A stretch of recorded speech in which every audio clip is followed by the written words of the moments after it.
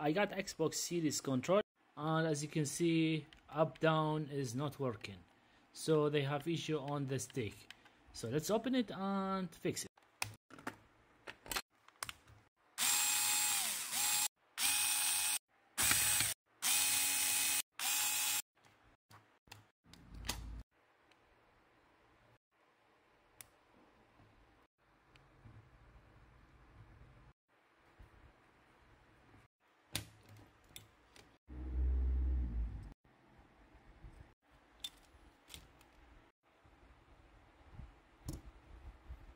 I only change this part and test. If it's working that's good.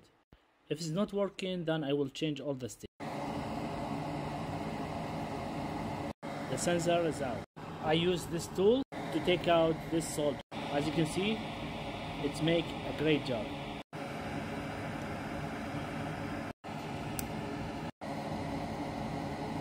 Let's return all the parts back and test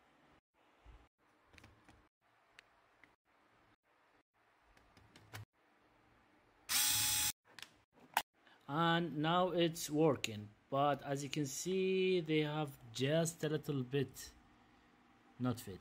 Let's calibrate the left stick. Recalibration option. And I choose the left thumb recalibrate. Let's start. Up. Right. Down. And left.